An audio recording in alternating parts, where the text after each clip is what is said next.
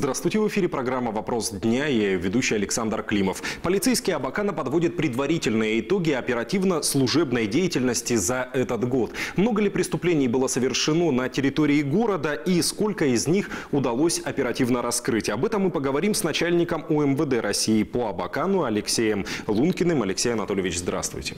Добрый день. Алексей Анатольевич, каковы итоги работы за 11 месяцев? Много ли преступлений было совершено на территории города? За это время и какова раскрываемость? Дежурной частью в МВД России по городу Абакану за 11 месяцев э, принято примерно 40 тысяч сообщений о преступлениях, происшествиях и э, разных событиях, имеющих отношение к органам внутренних дел. Из них мы возбудили 4 тысячи уголовных дел – не вдаваясь в проценты, можно сказать так, что из 10 э, преступлений раскрывается примерно 6. Вот. Таким образом, э, раскрываемость преступления стала 56,7%. Вот. Много это или мало? Мы подросли по сравнению с прошлым годом на 5%. Вот, поэтому э, ну, все равно считаю, что это в пределах арифметической погрешности. Можно сказать, что уровень э, преступности в городе Абакане остался на прежнем уровне. Если опять-таки обратиться к статистике, а кто чаще всего совершает преступления? Это женщины, мужчины, может быть, возраст? Если взять по э, гендерному признаку, то женщины совершают преступления 18%. Значит, э, остальное э, приходит, соответственно, на мужчин. Вот, и дети. У нас всего их 3%. Э, То есть вот в этом плане делится так. Если взять, например, по возрастному цензу, в основном это социально активные граждане. Да, бывают, конечно, исключения, и в глубокой старости люди совершают преступления. Вот, но, тем не менее, это средний возраст 25-50 лет. Значит, если взять по социальному признаку, то хотел бы обратить внимание, что 70% совершенных преступлений не имеет постоянного источника доходов. Алексей Анатольевич, а какие преступления наиболее часто происходят э, в нашем городе? Что для Абакана характерно? Ну, здесь, наверное, я не открою никакой тайны, если скажу, что подавляющее большинство преступлений – это кража то есть хищение имущества разного квалифицирующего свойства. Вот, это 40%. 12%, например, да, это мошенничество. 11% преступлений от общего числа, да, это 4 тысяч, это преступления, связанные с незаконным оборотом наркотиков. Около 10% преступлений, да, связанные с э, управлением транспортными средствами состояние опьянения. 3% грабежей. А из года в год эта тенденция, статистика, цифры, они меняются или кражи как были на первом месте, так всегда и остаются? С учетом того, что законодательство уголовное в этом плане практически не меняется, то статистика тоже остается на том же самом уровне. Вот. Ну, к примеру, ввели уголовную ответственность за торговлю спиртом. Конечно же, появились э, преступления, связанные с э, данным видом деятельности. Да? Вот. А по традиционным, например, преступлениям, это кражи, мошенничество, телесные повреждения да, разной степени тяжести, они примерно остаются в тех же пропорциях, которые и были. То есть э, нет резкого всплеска того либо иного вида преступления в городе. Алексей Анатольевич, а есть ли в Абакане, может быть, какие-то наиболее криминогенные районы или для э, каких-то противоправных действий здесь район не имеет значения? Э, если смотреть по анализ сделать уличной преступности, преступность в общественных местах, то преступления совершаются там, где больше развлекательных заведений, где находится большое количество людей, да, в дневное, в ночное время. Но с учетом того, что подобного рода развлекательные, да, увеселительные заведения находятся все-таки в центральной части города. Здесь большой жилой массив, то есть много многоквартирных, многоэтажных домов. Соответственно, и преступления совершаются здесь. А, но сказать так, например, что в городе, вот в пределах, в границах улиц таких-то и таких-то совершаются преступления, больше сюда ходить нельзя, а везде можно, то так нет. В принципе, они все распределяются более-менее равномерно, но с учетом все-таки населенности. То есть, чем больше населенность, тем и больше преступность, соответственно. То есть вот такая закономерность прослеживается. А можно ли назвать категорию людей, которые чаще всего становятся жертвой преступника? И э, часто ли жертвы сами провоцируют, можно сказать, злоумышленников э, к противоправным действиям? Таких категорий несколько. Первое, на что хотел обратить внимание, это э, лица, находящиеся в момент преступления в состоянии алкогольного опьянения. Большое количество преступлений и связано именно с этим обстоятельством, когда потерпевшие, злоупотребив этим э, зельем, плохо помнят вообще происходящие события. Вот. Ну и поэтому становятся жертвами преступления. Это одна категория. Вторая категория – это, так можно сказать, слишком доверчивые люди, э, которые становятся в силу разных причин э, жертвами обмана которые доверяют, например, свои вещи, свои телефоны, свои банковские карты посторонним лицам, но прозрение наступает уже слишком поздно, когда преступник, в общем-то, уже ушел. А есть категория потерпевших, которые безразлично относятся к своему имуществу. Да? То есть это не обязательно физические лица. Здесь можно уже говорить и о юридических лицах. Да? Предприятия не оборудуются охраной, системами видеонаблюдения. То есть не принимаются самых элементарных мер, не нанимается, например, сторож да, э, к сохранности имущества при наличии материальных ценностей. Ну, на базах, складах, там, предприятиях и тому подобное.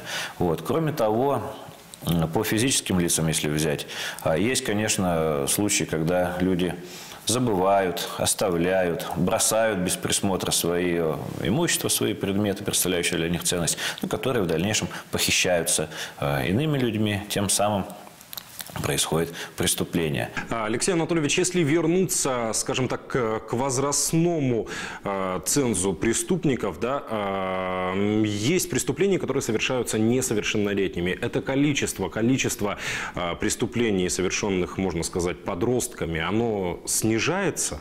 Да, снижается, но незначительно. 51 преступление было совершено в городе Абакане, на несколько штук меньше, чем в прошлом году. Вот, в целом, если так можно выразиться, э, ситуация с преступностью несовершеннолетней не кажется угрожающей. Всего 3% от числа расследованных преступлений.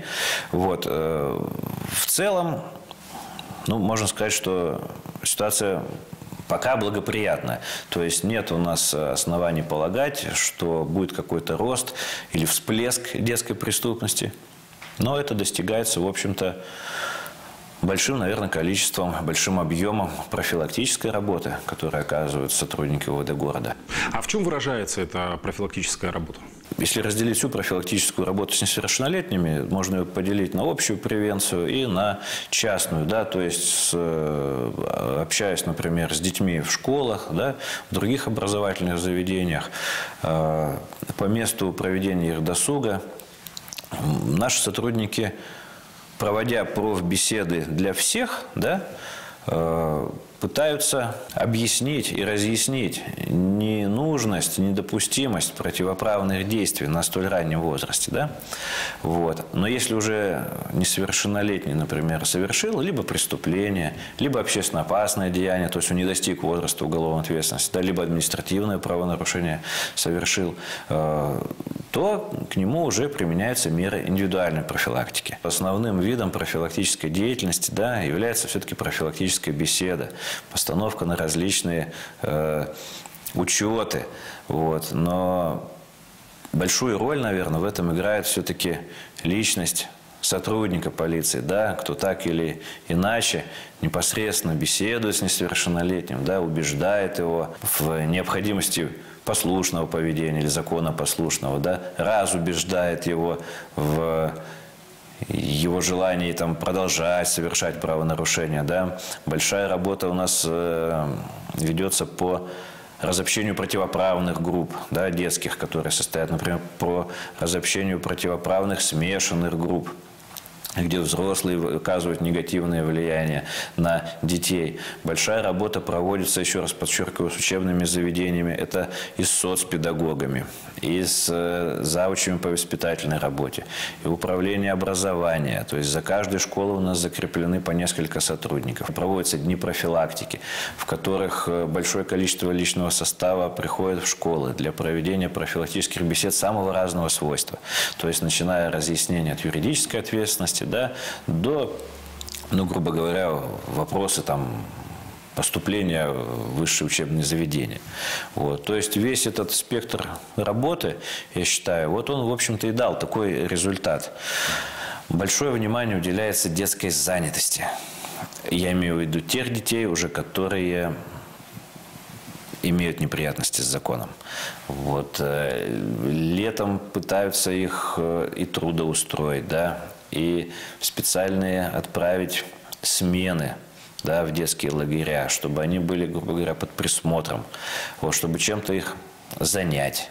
То есть э, мое-то глубокое убеждение, что детская преступность в том числе, да, она, в общем-то, от незанятости происходит. Согласен, есть, конечно, и социальный аспект, вот, но все-таки, да, когда дети предоставлены сами себе, вот, у них есть больше вероятность э, встретиться с нами уже в качестве соперников, да, так скажем. Алексей Анатольевич, каждый год, подводя итоги своей работы, вы рассказываете, может быть, о необычных, неординарных случаях, произошедших э, в практике сотрудников полиции за эти 11 месяцев. Что-то неординарное, курьезное происходило? Очень интересный случай случае вот ага, заявили вот сегодня кражу у нас телефона на СТО. Мы с ног сбились, там все искали и подозревали, фотороботы преступников составили, и уже стали их искать и, и поехали. А оказывается, телефон, его просто машина возле этого СТО раздавили, никто его не похищал.